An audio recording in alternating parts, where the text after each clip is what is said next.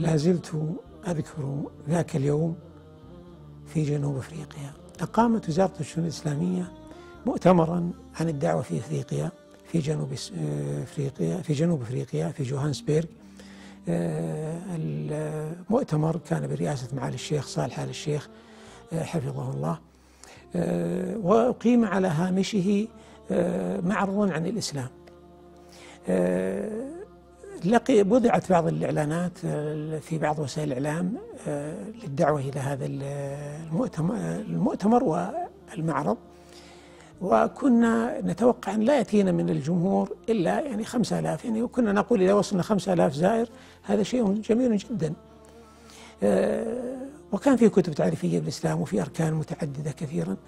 فوجئنا في اليوم الأول والثاني من أيام المعرض تدخل علينا امرأة تقريبا عمرها 55 أو 60 فدخلت ووصلت إلى ركن الاستقبال قالت أريد أن أسلم. نحن ظننا أنها تريد أن تتعرف على الإسلام فأخذوها الزملاء إلى الركن الخاص بالتعريف بالإسلام وهو في زاوية أخرى من أيضا من المعرض فأرادوا أن يعطوها كتب. قالت لا أنا أعرف الإسلام. أنا سبق قرأت عن الإسلام لكن ما أعرف كيف أكون مسلمة. أنا وهذا يعني يذكرنا حاجة العالم إلى هذا الدين العظيم وحاجة العالم إلى ما لدينا.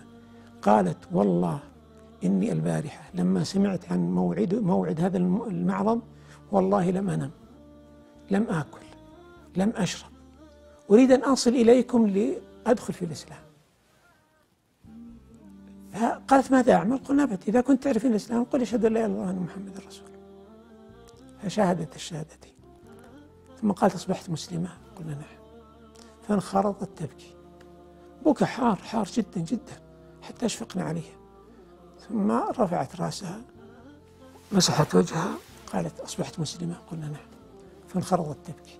ثانية فرح بهذا الخير الذي أدركته ثم أيضا قالت أصبحت مسلمة تتأكد قلنا نعم خلاص. بكت وتمالكت نفسها وانصرفت. من الغد أتت بابنتها بالأربعين تقريبا أن لا إله إلا الله وأن محمد رسول الله وانصرفت في هذا المعرض زارنا شخص كان كثيرا له برنامج إذاعي شبابي موجه للشباب هناك في جنوب أفريقيا وهو نصراني وكان لا يجد فرصة إلا نال من الإسلام.